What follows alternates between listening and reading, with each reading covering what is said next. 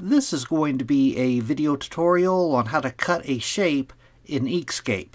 I will be using a desktop PC for this. Let me uh, jump over to Inkscape here. I have Inkscape open now. On my canvas here, I have a rectangle and an ellipse. To cut shapes, it's very simple to do in Inkscape. First thing you want to do is go to the pencil tool. I'm going to go off to the left here. Right here is the pencil tool. If I put my mouse cursor over it, it says draw freehand lines. The keyboard shortcut for the pencil tool is the letter P. I'm going to select the uh, pencil tool. Now if you want to do a wavy line, you want to uh, start off of your shape. I'm going to hold down the left mouse button. I'm just going to draw a little wavy line here.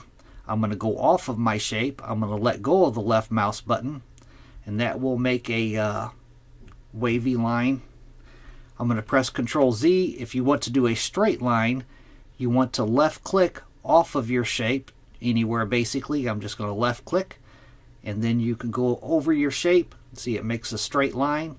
I'm going to go beyond my shape and I'm going to left click right here.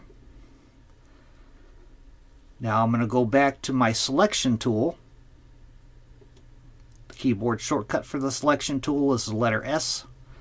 Now I want to select both that line. I currently have the line selected, but I want to select my rectangle too. I'm going to hold down the shift key and select my rectangle. I have them both selected now. I'm going to go up to the top up here to the uh, path tab, path. I'm going to click on that. And then I'm going to go down and I'm going to click on division. Division. Now I'm going to click off of my shape and back on. See, I have cut that shape.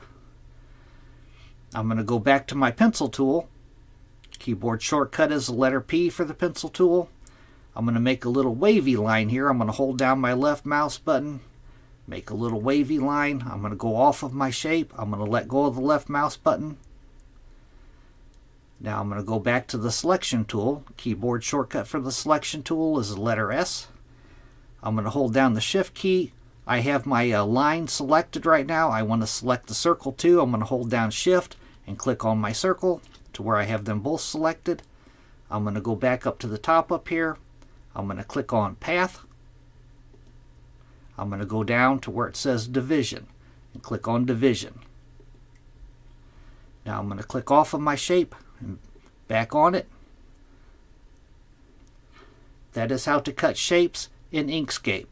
Thanks for watching.